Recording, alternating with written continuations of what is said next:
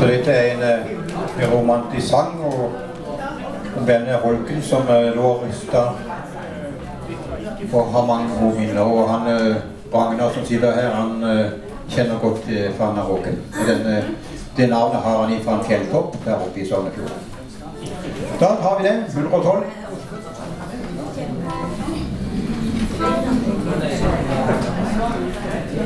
Thank you.